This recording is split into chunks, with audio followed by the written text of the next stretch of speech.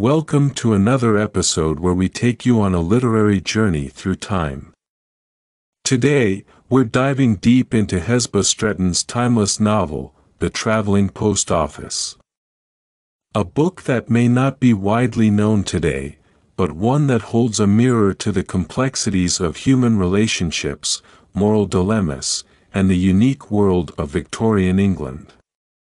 Prepare for a journey filled with intense emotions, unexpected twists, and characters that will stay with you long after the story ends. The traveling post office takes place in an era where communication was evolving, yet personal connections remained fragile. The story centers around a small, but essential institution, the traveling post office, that not only delivered letters but also transported the lives and stories of its characters across the rails of England. Let's embark on this detailed retelling, and experience each part of the novel in its entirety. Our story begins in a quiet village, nestled deep within the rolling hills of rural England. The air is thick with the scent of freshly cut grass, and the gentle hum of the village life sets the tone for what seems like an ordinary day. The village is small, and its inhabitants lead simple lives, relying on letters as their primary means of communication with the outside world.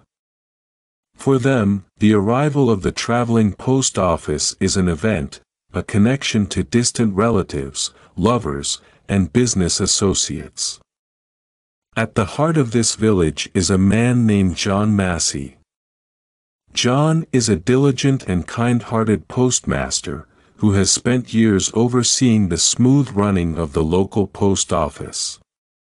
He's a man of routine and precision, and his life revolves around ensuring that letters reach their destination on time. The villagers respect John for his unwavering dedication to his job, but beneath this steady exterior, John carries a burden that weighs heavily on him, a personal loss that he seldom speaks about. His wife, Mary, passed away several years ago, leaving him to raise their daughter, Alice, alone. Alice Massey, a girl in her early twenties, is as gentle and kind as her father, though she possesses a youthful curiosity and longing for adventure that sets her apart. While she appreciates the quiet life of the village, Alice has always been fascinated by the world beyond, a world she only knows through the letters that pass through her father's post office. Her curiosity is piqued by the stories of far-off cities, bustling with life, and by the people who inhabit them. But her deepest curiosity is reserved for the traveling post office itself, a marvel of Victorian engineering that symbolizes movement and change in a world otherwise static. The traveling post office arrives twice a week, bringing with it letters from distant places. It is more than just a train, it's a moving institution that operates like a small town on wheels, where letters are sorted and dispatched with an efficiency that fascinates Alice. She often watches from the platform as the train rolls in, its rhythmic clatter a constant reminder of the broader world she's yet to see. One day, as Alice watches the traveling post office pull into the station, she notices something unusual. A young man, dressed in the uniform of the postal service, steps off the train and approaches her father. There's a brief exchange between the two men, and then the young man turns and walks back to the train, his face clouded with emotion. John Massey, usually so composed, seems unsettled by the encounter, and Alice, sensing something is wrong, approaches her father. John tells Alice that the young man's name is Charles Ashford, and he's been assigned to the traveling post office as a clerk. However, what troubles John is not Charles's position, but the fact that he bears an uncanny resemblance to someone from John's past, a man named Henry Ashford, Charles's father, who had once been a close friend of John's. Henry and John had grown up together in the same village, but their friendship had ended abruptly, torn apart by a misunderstanding that neither man had ever resolved. John hadn't seen or heard from Henry in years, but now, seeing Charles, he is reminded of the unresolved conflict and the pain it had caused. Charles Ashford is unaware of the history between his father and John. He's a young man eager to prove himself in his new role, but he's also haunted by his own family issues. His father, Henry, had passed away a few months earlier, and Charles had never been able to fully understand the estrangement between his father and John Massey. All he knows is that his father had spoken of John with a mix of regret and anger, and Charles is determined to learn more about the man who had once been his father's closest friend. As the traveling post office departs, Alice watches Charles from a distance, intrigued by the young man's demeanor and his connection to her father's past. There is something about him that stirs a sense of curiosity within her, and she wonders what kind of life he leads, constantly moving from place to place aboard the traveling post office. And so, the seeds of our story are sown. The arrival of Charles Ashford brings with it a past that John Massey had long buried, but the story of the traveling post office is not just about letters and deliveries. It's a tale of old wounds, of new connections, and of the journeys, both literal and emotional, that each character embarks upon. As we move further into the story, the complex relationships between John, Charles, and Alice begin to unfold. The traveling post office continues to pass through the village, bringing letters and parcels from across the country. Each letter holds a story, a glimpse into the lives of others, and Alice, like many in the village, is fascinated by the messages that pass through her hands. However, she becomes particularly intrigued by one letter in particular, a letter addressed to her father, John Massey. The envelope is worn and faded, as if it had been sitting somewhere for a long time, waiting to be delivered. John opens the letter in private, his face growing pale as he reads its contents. The letter is from Henry Ashford, written shortly before his death. In it, Henry expresses his regret over the fallout between them and begs John to forgive him. He explains that the misunderstanding that had driven them apart was based on a lie, one that Henry had believed for years, but which he had come to realize was false. Henry asks for John's forgiveness, hoping that they might reconcile before it's too late.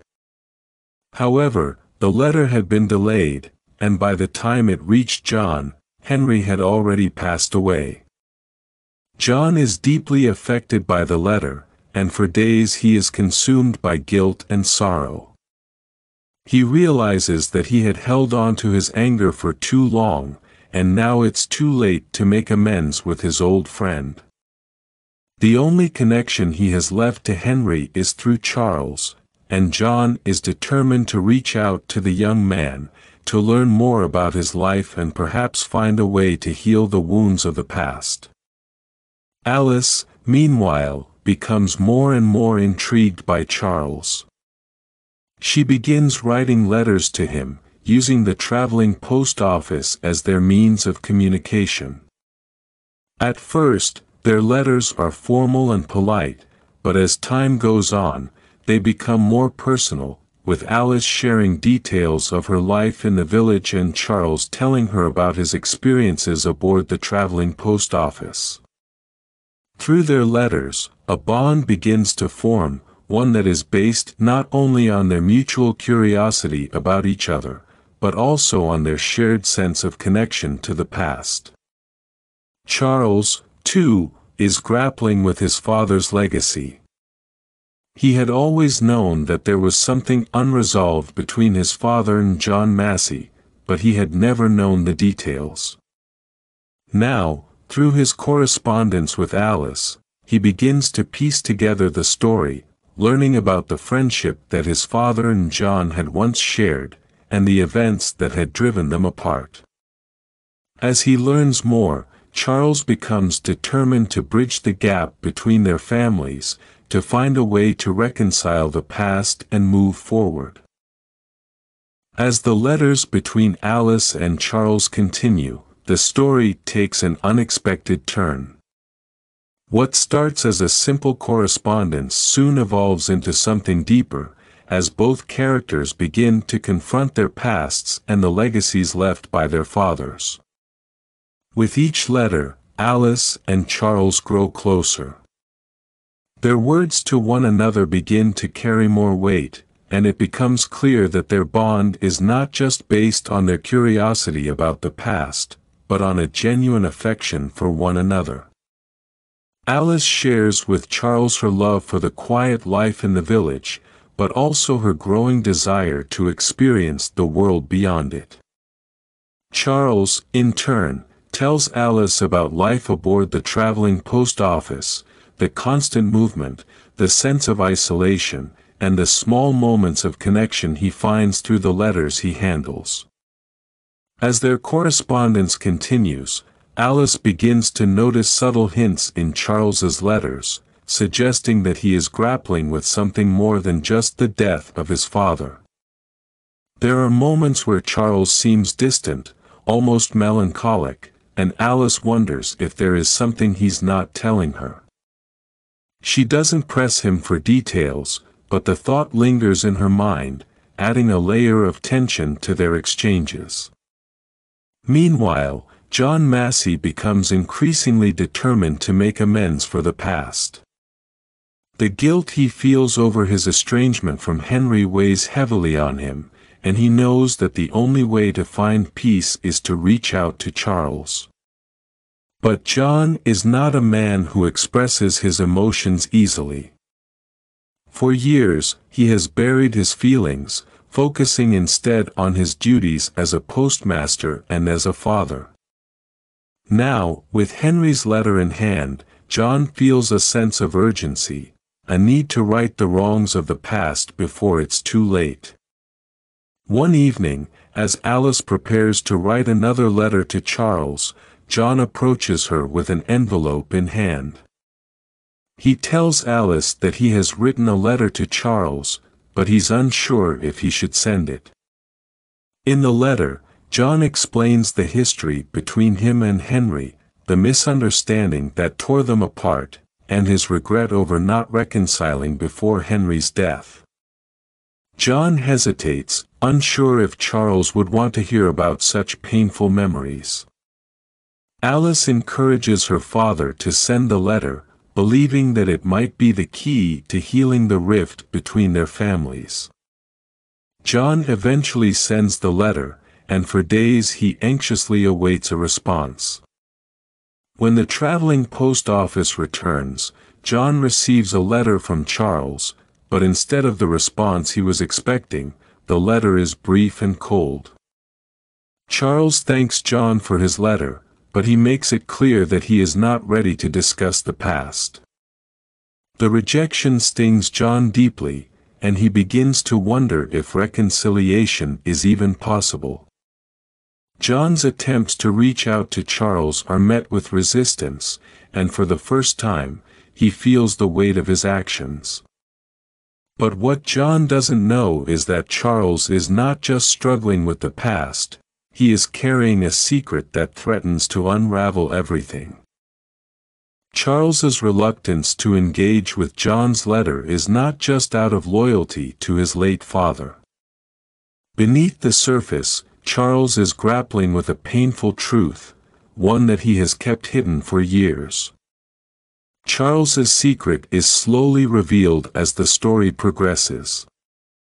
It turns out that Henry Ashford, Charles's father, had not only been estranged from John Massey, but from his own family as well. Henry's life had been marked by a series of poor decisions, financial struggles, and a deep-seated bitterness that had driven a wedge between him and those closest to him. For years, Henry had harbored resentment toward John, believing that John had wronged him in some way, but the truth was far more complicated. Before his death, Henry had confided in Charles, revealing that much of the animosity he felt toward John was based on a lie. Henry had been manipulated by a third party, someone who had sought to exploit the friendship between the two men for personal gain. This revelation had shaken Charles to his core, leaving him with a deep sense of confusion and betrayal. On one hand, Charles wanted to believe that his father had been wronged, but on the other hand, he couldn't ignore the possibility that his father had been complicit in the destruction of their friendship. As Charles grapples with this inner turmoil, he finds himself withdrawing from both Alice and John. The letters he once eagerly awaited from Alice now sit unopened on his desk, and the thought of responding to John's letter fills him with dread. Charles feels trapped, unable to move forward, yet unwilling to confront the truth. Alice, sensing that something is wrong, continues to write to Charles, hoping that her words will reach him. She shares stories of her daily life in the village, her thoughts on the world beyond, and her growing affection for Charles. But as the weeks pass without a response, Alice begins to worry that she may never hear from him again. Meanwhile, John remains haunted by the letter he received from Henry. He rereads it late at night, wondering if there was more he could have done to mend their friendship before it was too late. The guilt gnaws at him, but he remains determined to make things right with Charles, even if it means confronting painful truths about the past. As the tension between the characters builds, the story reaches a turning point. A storm is brewing, both literally and figuratively, and the events that unfold will change their lives forever. One stormy evening, as the traveling post office makes its way through the countryside, disaster strikes. The train, battered by strong winds and torrential rain, derails, sending letters and parcels scattering across the tracks. Charles, who is aboard the train at the time, is thrown from his seat and injured in the crash. The chaos that follows is overwhelming, but Charles manages to escape the wreckage with his life. The news of the crash reaches the village the next day, and Alice is devastated to learn that Charles was on board. Desperate to know if he's safe, she rushes to the nearest town, where survivors of the crash are being treated. When she arrives, she finds Charles lying in a hospital bed, his face pale and bruised, but alive. The sight of Charles in such a vulnerable state brings a flood of emotions to the surface for both Alice and Charles. For the first time, they confront their feelings for one another, and Charles opens up to Alice about the secret he has been carrying, the truth about his father, Henry, and the role he played in the fallout between John and Henry. Alice listens in silence as Charles tells her everything, and as he speaks, she realizes that the only way for them to move forward is for Charles to confront John and share the truth with him. But Charles is hesitant, unsure if John would be willing to listen after all that has happened. With Alice's encouragement, Charles agrees to meet with John, and the two men finally sit down to talk. The conversation is difficult, filled with painful memories and unresolved emotions, but as they speak, both men begin to realize that the past, while painful, doesn't have to define their future. They may never fully understand what drove them apart, but they can choose to forgive and move forward. As the story draws to a close, we see how the events that unfolded aboard the traveling post office have changed the lives of our characters forever. With the past behind them, John, Alice, and Charles begin to rebuild their lives. The traveling post office continues its journey through the countryside, but for Alice and Charles, it represents something more than just a means of delivering letters.